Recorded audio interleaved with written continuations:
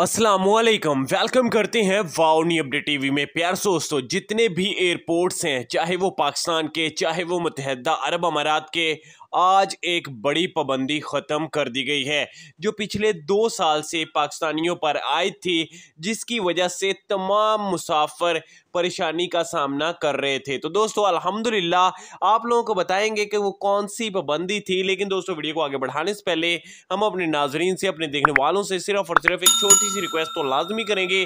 दोस्तों सपोर्ट के लिए सबसे पहले वीडियो को लाइक चैनल को आप अपने प्यार से हाथों से सब्सक्राइब और बेल आइकन को आप लोगों ने लाजमी दबा लेना है ताकि हर तरह की जो भी छोटी बड़ी अपडेट्स हों, सबसे पहले हम आप तक पहुंचाते रहें। तो दोस्तों, आप लोगों को बताते चले मुतहदा अरब अमारात और पाकिस्तान के दरमियान। ये जो ऐप था, पास ट्रैक के, आप लोगों ने लाजमी अपने मोबाइल में इंस्टॉल करके जाना है। इसकी पाबंदी हटा दी गई है। पास ट्रैक की जो पाबंदी थी, अल्हम्दुलिल्लाह, आज से ख़त्म। आप लोगों को करने की ज़रूरत नहीं।